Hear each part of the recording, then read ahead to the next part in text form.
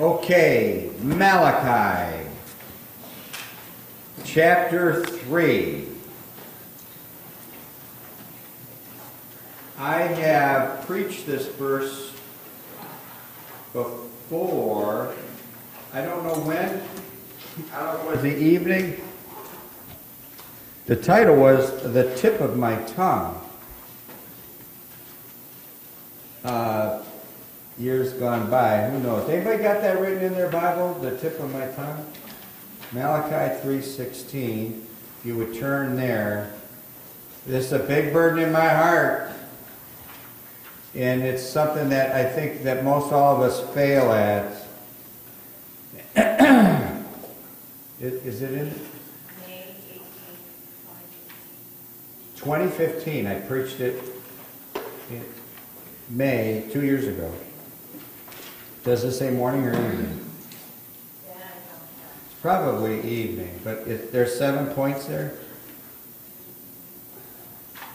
Yeah, seven S's. All right, we got uh, uh, eight W words on the same verse this morning. Now, I just, it, this is a burden on my heart. Uh, it's something that uh, I, I told Joe this morning that I was going to include his father in the sermon because this is something that personally happened between he and I uh, years ago, and I thought I would bring it up. And um, because it is part of, of his life that had occurred, our title today is Daddy's Diary. And uh, I think about those that uh, uh, we go through loved ones' things when they, uh, after they die, and you find uh, different things. Now, when we read the verse, uh, I'll go ahead and begin by reading the verse. Listen, we don't have a lot of verses today, and I decided I'm preaching up to a certain point only with 11 verses. Sometimes we go anywhere from 50 to 100, 11 verses. Then we'll have some more after. It's going to be a quick outline, and I'm just going to I'm just going to be talking, preaching, and I I want conviction. Convict the desire is for convict, not uh, for a great sermon, but a convicting sermon is is really more important than a great sermon. Verse 16, Malachi 3:16. I want I'm going to ask a question.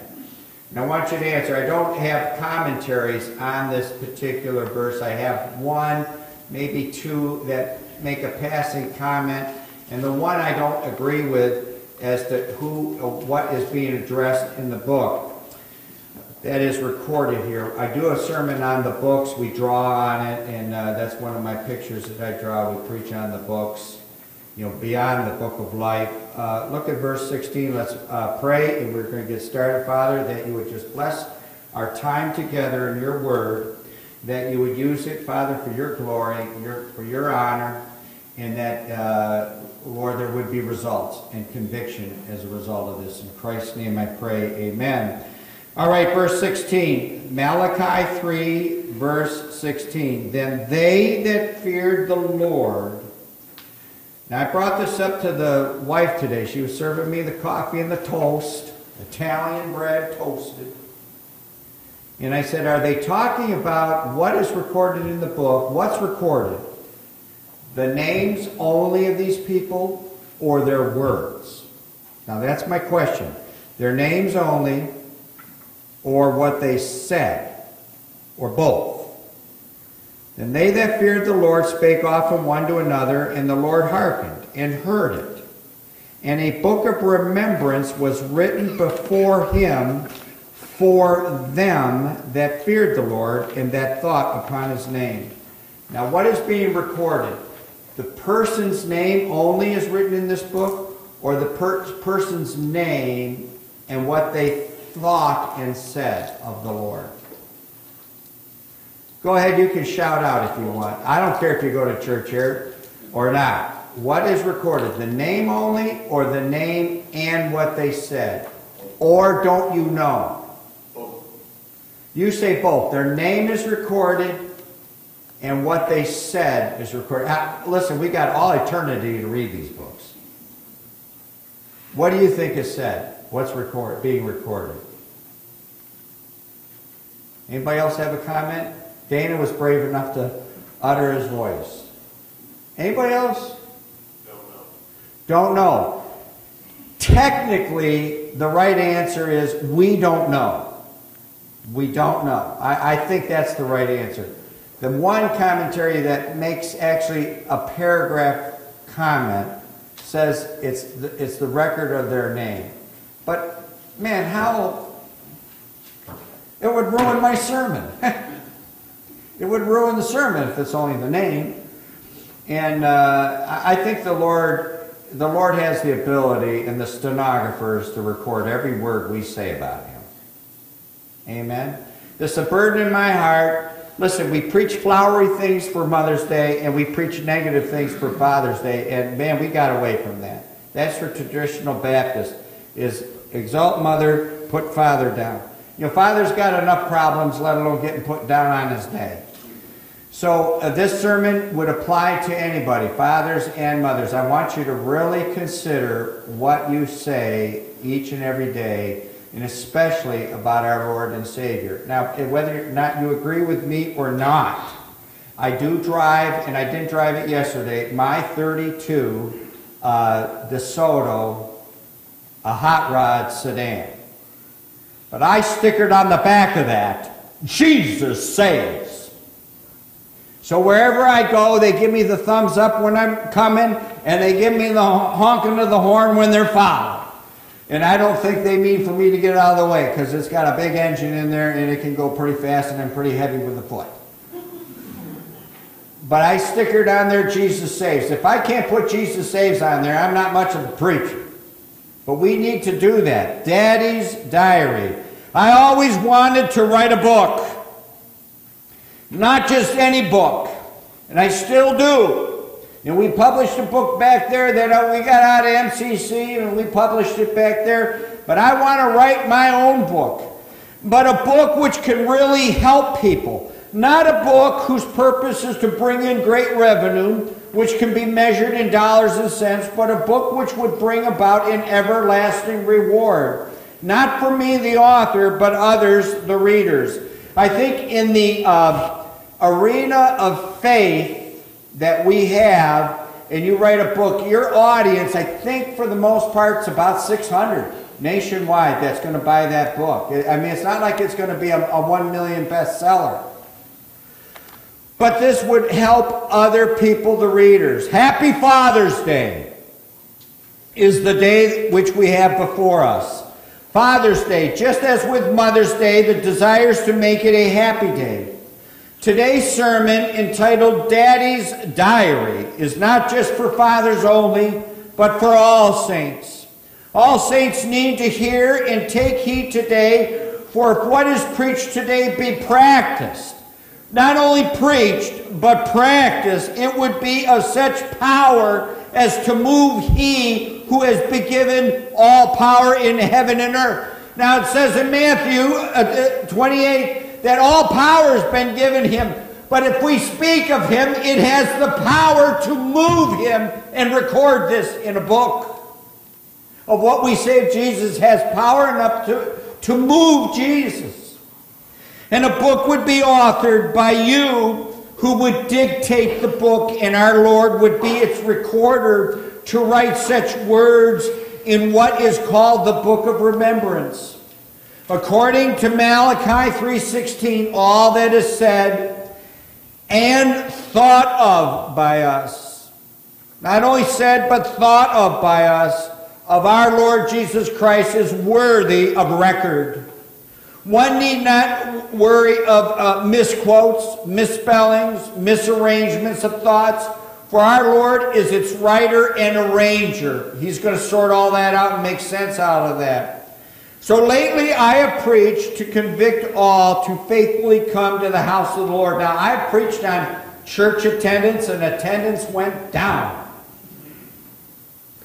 I then preached again on church attendance for Wednesday night and it went to a record low. Right? I have preached to convict all to faithfully come to soul win for the Lord and organize soul winning. And we have gone from four soul winners to five soul winners. Now, this past week, to seven soul winners. And you know what? Some of those soul winners said they really had a good time. They look around for money and they say to the kids, First one that finds money, I'm going to buy you an ice cream cone. Now, they already know I'm going to buy all of them an ice cream cone. But they find money and we went out and got an ice cream. But we went from four to five to seven soul winners. I mean, went in the right direction. And all to faithfully speak, today I am preaching to convict all of us here, one and all, to faithfully speak and think about our Lord Jesus Christ. Now, what, what prompts me is one thing my son, one of my sons said to me, is he has never heard a preacher ever talk about Jesus outside of the pulpit. I mean, that is that that's a slap in the face, folks. Is we need to speak of Jesus wherever we go and think of Jesus. We have a, an eight-point outline, and uh, we're not spending a lot of time on these points. We're just we're just going to go. I want this to be convicting. This verse begins with the wise. Then they that feared the Lord, you and I, we are the wise ones. If we are those that fear the Lord, all those who are born again believers of Jesus Christ are wise wise to see their need, and wise enough to realize Christ can fill that need in the salvation of their souls. Amen. I'm telling you, I'm going fast on this. Begins with us who have, who have been wise.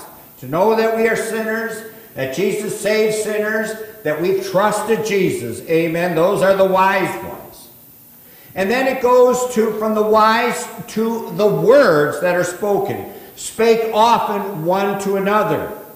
Spake often one to another. The words that you and I use. Now, when, when we first got saved, uh, we were in a, a, Mennonite church, and I uh, there was a girl there, Norma Jean, Norma Jean Bender. In fact, uh, my one son back here, his middle name is uh, named after uh, friends of there. Uh, his name was Everett. I, I named put his middle name in there. And I said, Norma Jean, how come you, you, you always talk about the Lord, but nobody else here does? And I said to this privately, when she was uh, 8.9 months uh, pregnant, we were down in uh, Hickory Holler, Hazard County, Kentucky, in the hollers, and we were visiting, we had to make a run down there for the Mennonites and came back up. And I said, how, how come you're always uh, talking to the Lord, but nobody else is? I said this privately, my wife was there. And she said, well, in, real southern drawl, well, don't you want to always talk about the one you love? I'll never forget her saying that. You always want to talk about the one you love. The words spake often one to another. So when we had first gotten saved, we didn't really speak too much of the Lord. But when we got in that Bible Believers Baptist Church, we were learning so much Bible, uh, eating it up so fast, and we couldn't wait for Sunday night because we, we, we would gather after some Sunday evening service. We used to go to Bob Heaven's where it was, they said it was tiles of gold, just like heaven. We'd eat there and go to somebody's house and be talking about Jesus and the Bible all the time. So many words in the world, and for the most part, the words fall to the ground. As the Bible says, it just falls to the ground. All these words that are spoken that they go nowhere. Moms and dads, Father's Day, Mother's Day, just think of not only not the responsibility, but the privilege, the privilege of exalting Jesus before your children. And then the worth, the worth of this.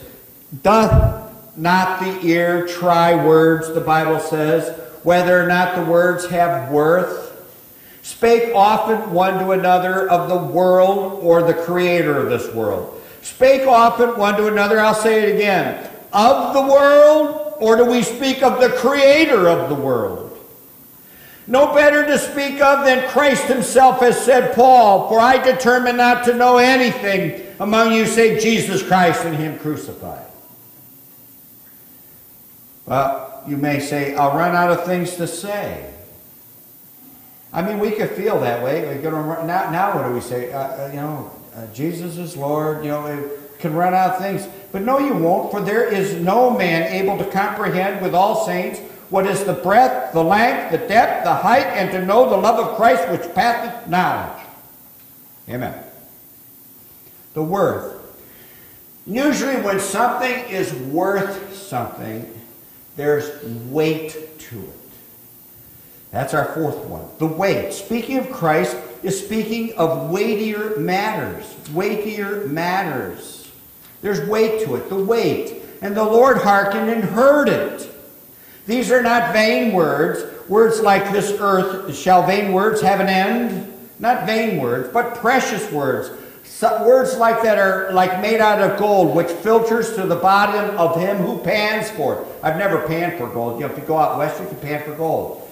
You could go to these old gold mines and you, you spend $20. They give you so much dirt and you can pan for it. They keep the gold. They, they keep the gold. They buy the gold that you get. And you can pan for your $5 worth of gold and they'll give you five for the 20 that, you know, and you did all the work. You know, that's how it works.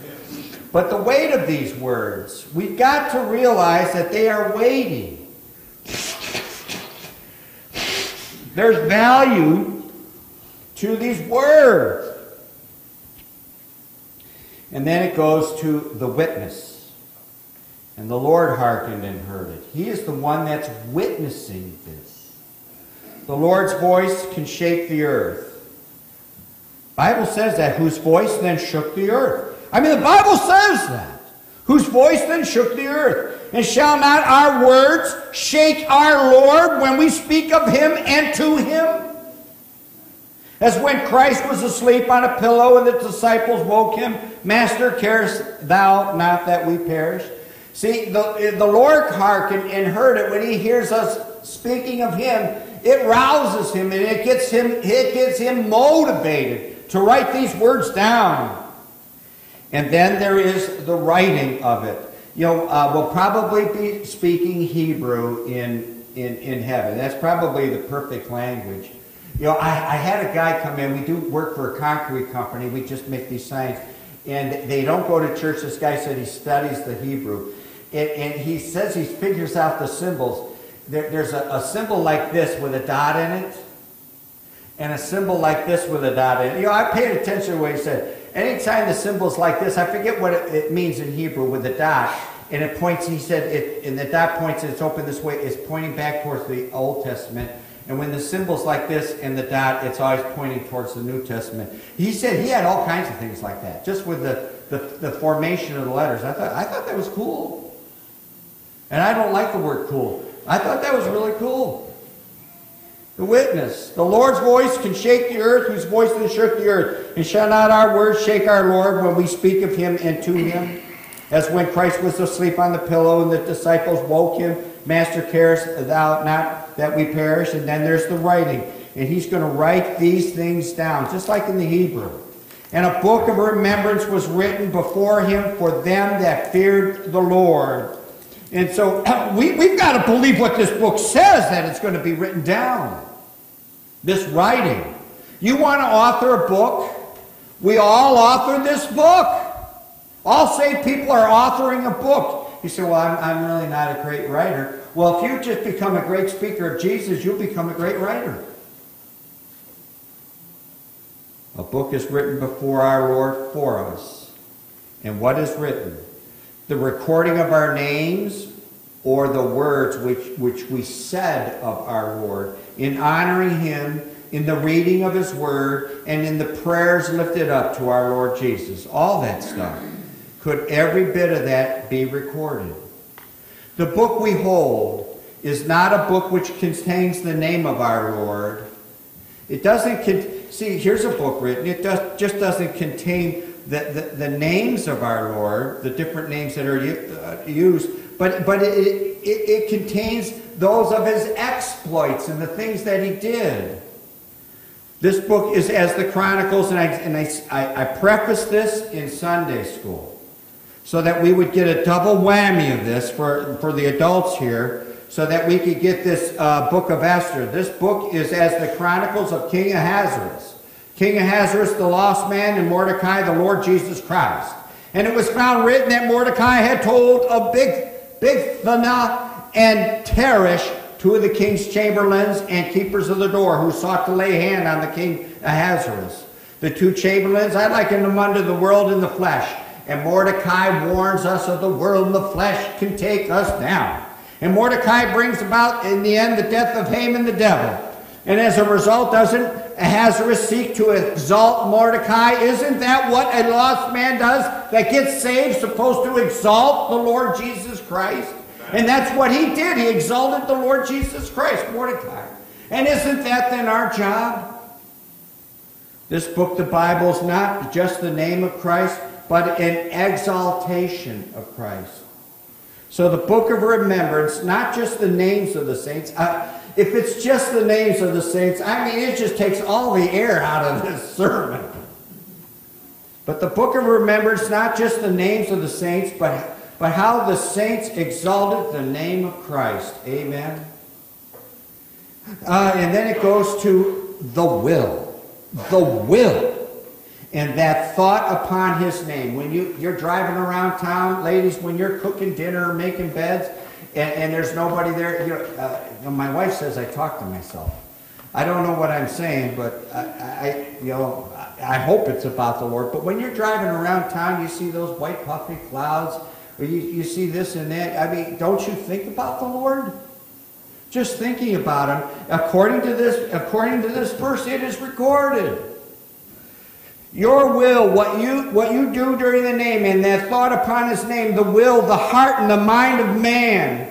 Thou understandest my thought afar off. He is the greatest of all mind readers. Amen. He's the only mind reader. My soul thirsteth after thee as a thirsty land. Do you thirst for him? Think about him. Then it's recorded.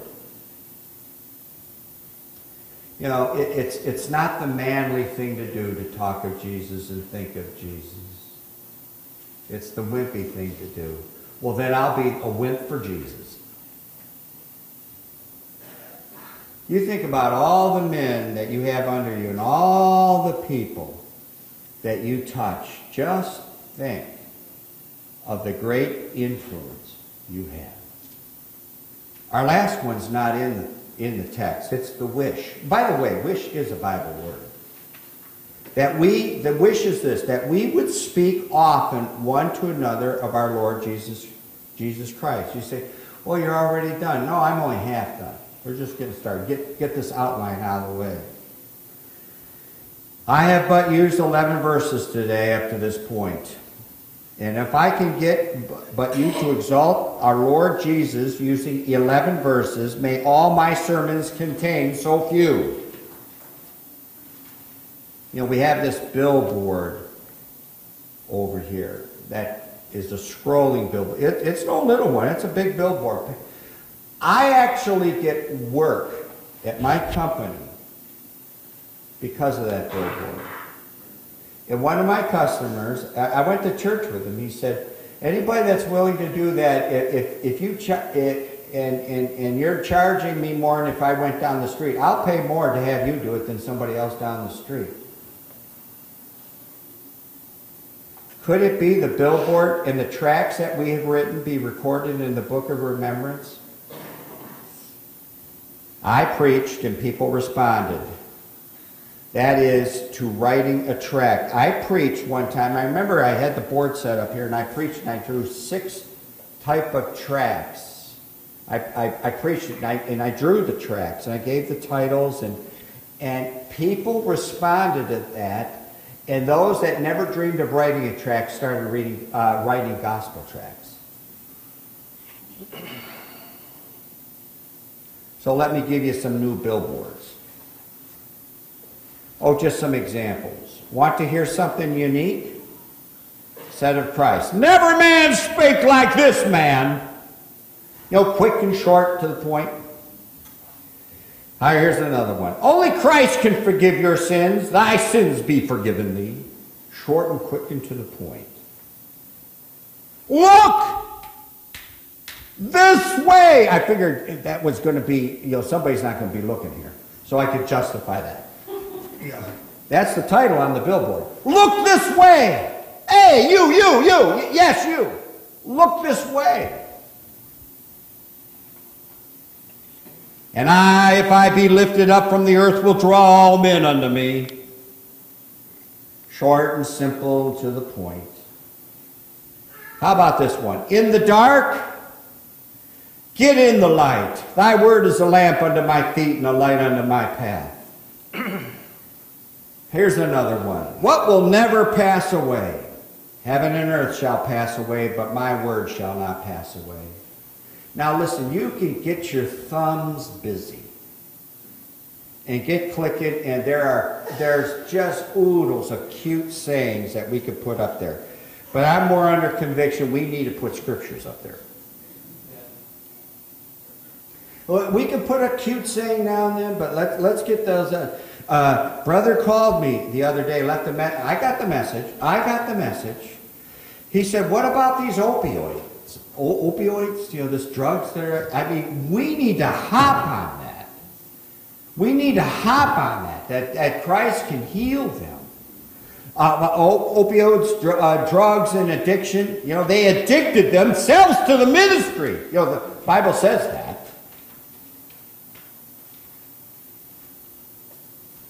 Here's another one. You say, oh, these are too long.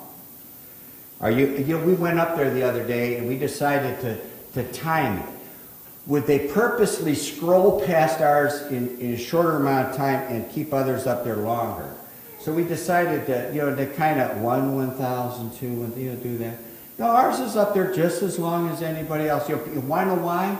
Because our money, our money is just as green as the next guy. Amen. Here's one. Are you keeping God's commands? Love the Lord thy God with all thy heart, and with all thy soul, with all thy mind, with all thy strength, and thou shalt love thy neighbor as thyself. You say that's a lot? Well, we could shorten it up mm-hmm. and still say King James. Speaking one to another of Christ can be of great comfort and encouragement. What was said of Barnabas, who when he came and had seen the grace of God was glad and exhorted them all that with purpose of heart they would cleave unto the Lord. Said of Titus, Nevertheless, God that comforteth those that are cast down comforted us by the coming of Titus, and not by his coming only, but by the consolation wherewith he was comforted in you. The same thing can be same, said of Epaphroditus, said of Aquila and Priscilla, said of Timothy and Erastus. Amen and said of so many saints, and may it be said of you also, amen. Here's one Psalm 34 3, let us exalt his name together. Psalm 99 5, exalt ye the Lord our God. What is the job of the Holy Spirit? What is his job? His job is to exalt the Lord Jesus Christ. I mean, come on, let's figure this out. His job is to exalt the Lord Jesus Christ. Who lives inside of you when you got saved? Doesn't Jesus live in there? Then our job, through the power of the, uh, of the Holy Spirit, is to exalt the name of the Lord Jesus Christ. What could be more simple? The simplicity that is in Christ. He shall glorify me, and if it is the Holy Spirit we possess, or better yet, the Holy Spirit possesses us, let him have his will with, will with us. Not my will, but thine be done. Oh, give thanks unto the Lord, for he is good. There's another psalm. It is all we can give him, and the least we can give him. So let us pay our dues of thanksgiving. Speaking often one to another is an exhortation, a challenge which needs to be stirred up in the hearts of men. It is as if we have forgotten, it is as if we have forgotten the exhortation. Those that speak not are as if they have forgotten the Lord their God. Hey, these are all verses, folks. I'm just quoting them. It is as if we have forgotten the God that formed thee. One big blessing I had in recent years. Now, I did not speak at length to Mrs. Booth. You know, when, when, when, when men and women get together, what happens? The women click up and talk about uh, apple pie and you know what women talk about, and then the men get together and the men talk about what men do, right? So I did not speak at length to Mrs. Foos, but in recent years, it, we, we did not fellowship with the Fooses. You know, they lived on the far west side, we lived over here. They had come to service once. I invited them over to the house, so they came over to the house. I spent an afternoon with Joe's father, Brother Ed Foos. And after an afternoon of speaking one to another, we spent the whole afternoon speaking of the return of our Lord. And, and, not what we find online or what we surmise, but what it says in this book. This book. Of the return of our Lord, he told me the blessing he received, for it had been a long way, way too long, since he was able to speak to someone else of the Lord Jesus Christ at length. See, he was hungry for that and was very edifying. And we had a good time doing that. A good time. All of us here can be a comfort and an example to one another. Those that are within your care, I ask, how will you be remembered? Twill be daddy's diary. Twill be daddy's diary. Will you be remembered as one that feared the Lord and spake often of our Lord? If so, you will have two diaries one for the memory of those left here, and one that is recorded, that is written down for the re reading of it in eternity. Amen.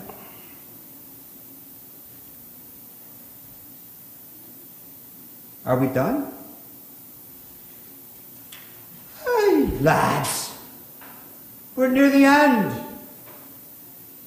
I always wanted to write a book. Not just any book, but a book which can really help people. See, we have failed at that. When we say we, you know, I always say that's the only French word my wife knows.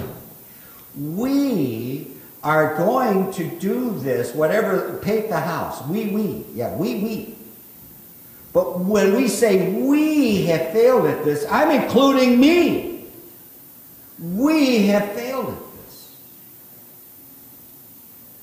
Not a book whose purpose is to bring in great revenue, which can be measured in dollars and cents, but a book which would bring about an everlasting reward, not for me, the author, but others, the readers. See, this needs to be incorporated in part of our life so that we don't have to think about it, we just do it. Amen? Am I asking too much? Happy Father's Day. Just as with Mother's Day, that desires to make it a happy day. So lately I have preached to convict all to faithfully come to God's house. Lately I have preached to convict all to faithfully come to organize soul winning. But today, brothers and sisters, I have preached to convict all to faithfully speak and think about our Lord Jesus Christ. Daddy's diary. Is it just a record of the names or also a record of what was said? And they that feared the Lord spake often one to another, and the Lord hearkened and heard it. And a book of remembrance was written before him for them that feared the Lord, and that thought upon his name. Daddy's diary. May it be as precious to those about you as it is to our Lord. Best regards in Jesus Christ. Father, this morning, that your word would take root in our hearts, that we would express what Jesus has done for us and praise his name before other men. And Father, bless the hands that prepared this meal, all that are partakers in it now, Father. And may, uh, Lord, you just look down upon your saints and use them as you would see fit. In Christ's name I pray. Amen. Shake hands before eating.